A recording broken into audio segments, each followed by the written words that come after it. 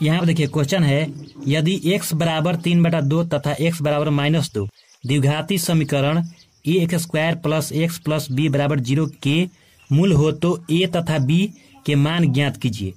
देखिए, ध्यान समझिएगा मेरे भाई ए और बी का वैल्यू निकालना है, ठीक है? यहाँ पर ए है, यहाँ पर बी इसका वैल्यू निकालना है। कैसे निकालेंगे? ध्यान समझिएगा। एक्स का दो मान दिया है, एक बटा, एक बराबर तीन बटा मतलब एक्स बराबर तीन बटा दो और एक्स बराबर माइनस दो।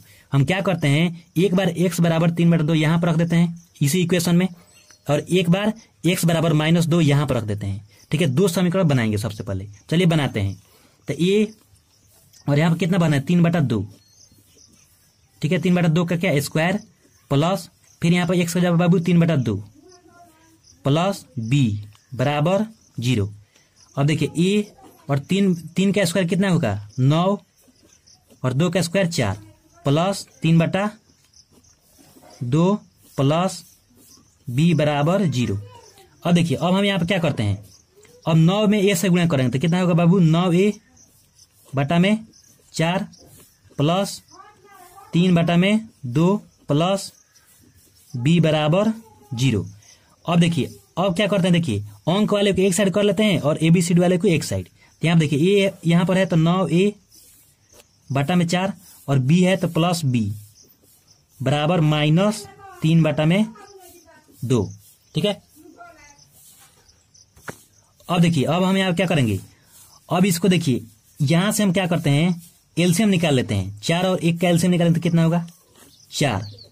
तो यहाँ पर होगा नौ ए प्लस, जब चार में एक से भाग करेंगे तो चार बार में जाएगा तो बी में चार से गुणा करेंगे तो यहाँ पर चार बी बराबर माइनस तीन बटा में दो। और यहाँ से देखिए, कटा लीजिए, ठीक है? तो यहाँ पर एक हो गया और यहाँ पर क्या होगा दो। और दो में बाबू तीन से गुणा करेंगे और एक में जब ऊपर गुणा करते तो उतना ही रहेगा। तो यहाँ पर समीकरण आपका क्या बना? नौ ए प्लस चार बी बराबर तीन में दो से गुणा करेंगे तो कितना होगा? माइनस ठीक है? इसको हम समीकरण एक मान लेते हैं। समझ गए?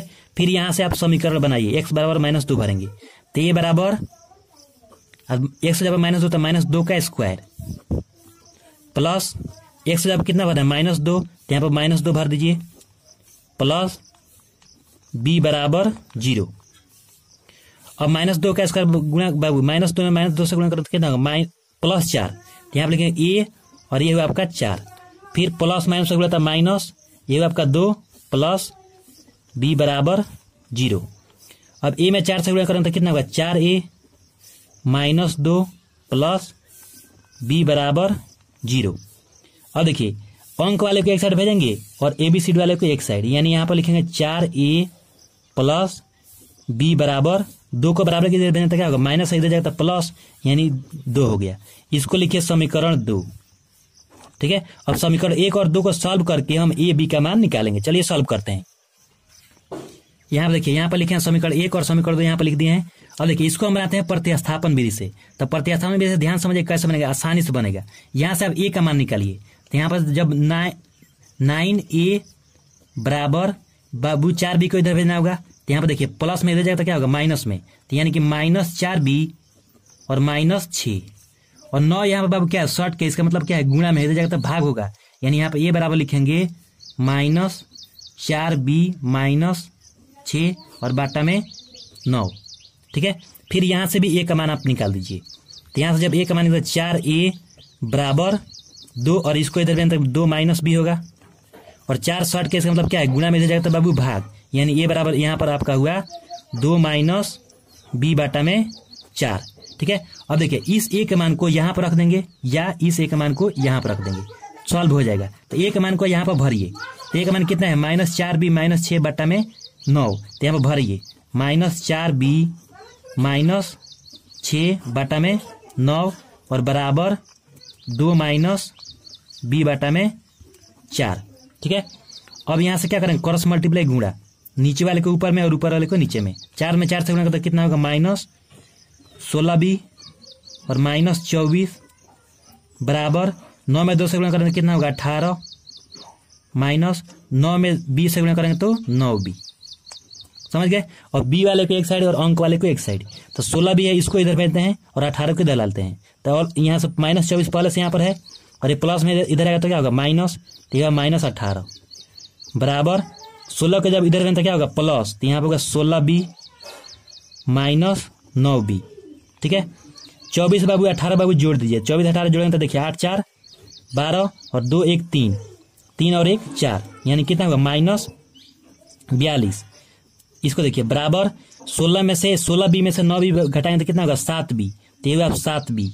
और सात यहाँ पर शॉर्ट कैसे मतलब क्या है? गुणा में इधर जाएगा तो भाग।